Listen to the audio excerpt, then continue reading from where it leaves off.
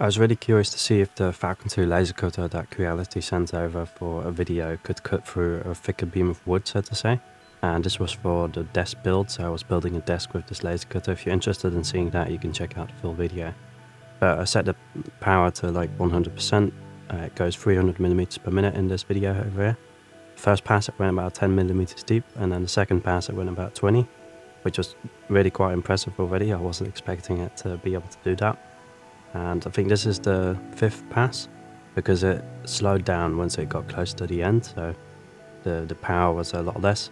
I think if you make it go in a pattern, like actually get rid of some more material, it might be able to get through it a little bit easier.